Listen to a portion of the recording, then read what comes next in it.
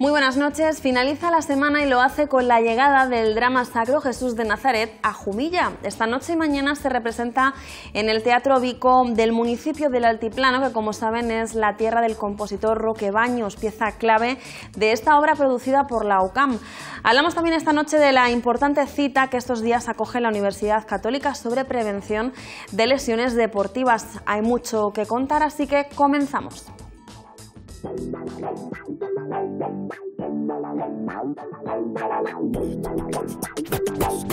you.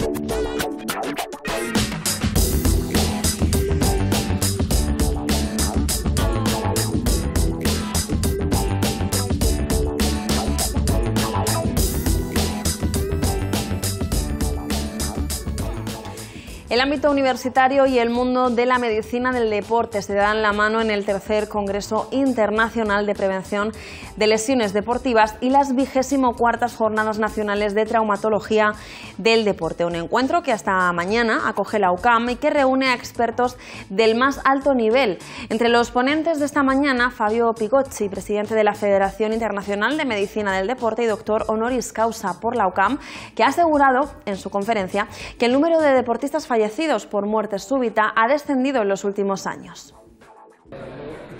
Sus nombres suenan con fuerza en el ámbito de la medicina deportiva de nuestro país. Son grandes conocedores de tratamientos, diagnóstico y medidas preventivas en el mundo del deporte.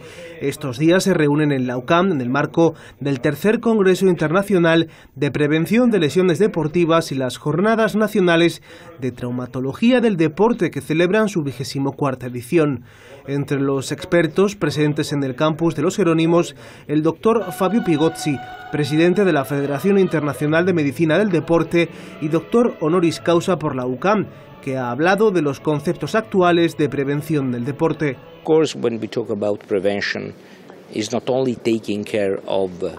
Cuando hablamos de prevención, no solo nos referimos a la prevención de trastornos agudos, que son los más comunes, sino también a los que afectan a cualquier atleta que está sano. Por esta razón se hace hincapié en la importancia del examen físico, no solo para centrarse en una disminución de la mortalidad prematura, sino también para establecer un diagnóstico precoz de muchas patologías con un coste social importante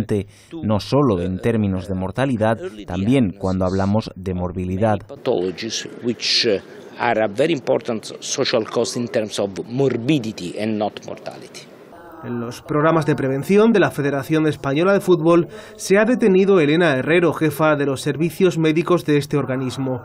Entre los aspectos destacados por la doctora en su ponencia en el templo del Monasterio de los Jerónimos, el que cada vez las lesiones aparecen a edades más tempranas. Los más jóvenes hoy en día tienen unos calendarios de competición muy exigentes como si fueran profesionales. Se está jugando con respecto al pasado, se está jugando en muchos terrenos sobre de césped artificial que no siempre, por desgracia, están mantenidos en las condiciones ideales. También ha recordado la jefa de los servicios médicos de la Federación Española de Fútbol la importancia de un buen programa de calentamiento y estiramientos antes y después de la competición, algo que puede reducir hasta en un 50% el riesgo de lesión.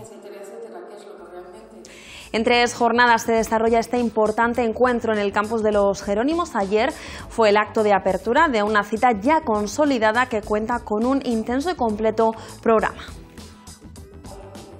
El templo del Monasterio de los Jerónimos ha sido el escenario de la apertura oficial del tercer Congreso Internacional de Prevención de Lesiones Deportivas y de las Jornadas Nacionales de Traumatología del Deporte que celebran su vigésimo cuarta edición. Una vez más, la UCAN es pionera en, materia deportiva, en este caso como es la traumatología. Eh, yo creo que es un congreso importantísimo por la cantidad de eh, personas que están, que están en, este, en, este congreso, no solamente de España, sino, como me decía el, doctor, de gente de, también de, fuera de, nuestra, de nuestro país. La satisfacción es que hay cerca de 500 personas que han acudido entre alumnos de la universidad, exalumnos ya profesionales que han venido de toda España y compañeros de todas las especialidades, medicina, fisioterapia, enfermería, ciencias del deporte, que hacen que en Murcia pues sea el centro español de prevención de lesiones. Punto de encuentro de representantes de todos los sectores implicados en la prevención de las afecciones o problemas derivados de la actividad física o de la alta competición. Cada vez mejora los contenidos en cuanto a temas y fundamentalmente en cuanto a ponentes tanto de nivel nacional como internacional en un aspecto con que desde la medicina del deporte consideramos que es verdaderamente primordial, que es la prevención de la lesión, porque cuando ya ha sucedido la lesión, el recorrido que tenemos que hacer con el deportista es mucho más costoso y mucho más insatisfactorio. Para nosotros la prevención de las lesiones es fundamental. Un ámbito de trabajo en el que no solo es importante presentar novedades o exponer trabajos científicos. Lo importante es llegar a la sociedad. Todos estos consejos, el deporte de élite, el deporte de intensidad es muy interesante, muy importante y nosotros estamos para ayudar. Pero lo importante realmente es el efecto social de, la actividad física, de la salud, de lo que representa la actividad física y que estos mensajes también le lleguen a la población llegar a la ciudadanía a través de congresos y jornadas como estas, que además de ponencias, mesas redondas y talleres, también cuentan con una muestra en el claustro de la universidad. Una exposición en la que distintas entidades y organismos dedicados a la materia dan a conocer su actividad. Pues son muchos los expertos que estos días se reúnen en la UCAM para abordar el tema de la prevención de lesiones deportivas desde múltiples perspectivas. Entre estos profesionales de prestigio nacional e internacional, el fisioterapeuta y readaptador del Real Madrid. En el Centro de Alto Rendimiento de Lucan Sport Center ofreció ayer por la tarde un taller de tratamiento fisioterapéutico donde dio las claves para poder evitar las lesiones musculares. Prevenir al 100%, tener la certeza de que no se van a lesionar es muy complicado. Eh, hay que medir mucho, hay que controlar mucho las cargas, hay que controlar mucho el, tiempo de exposición a, partidos, por ejemplo, y determinar eh, quiénes son los jugadores que tienen más riesgo eh, y quiénes no, por supuesto. Lógicamente, una preparación previa es fundamental, una alimentación es fundamental, un descanso es fundamental, una buena recuperación entre partidos es fundamental. Hay muchos factores, pero el factor edad, el factor de tener algún antecedente de su músculo, y sobre todo el factor de fuerza muscular, como cómo ese músculo trabaja, es la clave. Pues mañana sábado será la última jornada de este congreso en el que está previsto la presencia de Pedro Guillén, decano honorario del grado en medicina de la UCAM. La conferencia de clausura será impartida por Raquel Blasco, investigadora y profesora de la Universidad de Valladolid, y en ella hablará sobre fatiga muscular, prevención y tratamiento farmacológico, así como de ayudas ergogénicas. Y seguimos con más cosas. Tras su éxito rotundo en el Auditorio Víctor Villegas de Murcia, el drama sacro Jesús de Nazaret ha llegado esta noche al Teatro Vico de Jumilla. Como decimos, esta noche de viernes y mañana sábado se llevará a cabo la representación que ya han visto más de 1.600 espectadores.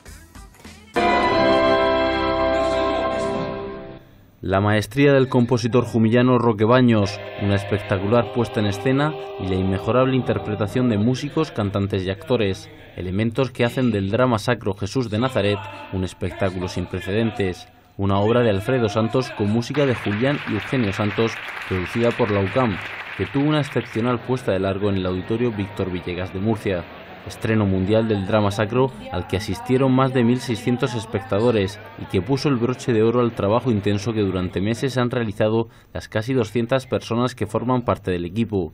La música en directo de la Orquesta Sinfónica de la Universidad Católica de Murcia ensalzó la recreación de la vida de Jesús, esta vez a través de los ojos de Judas. Noche especial y mágica gracias a la representación de esta obra que llega esta noche y mañana sábado al Teatro Vico de Jumilla.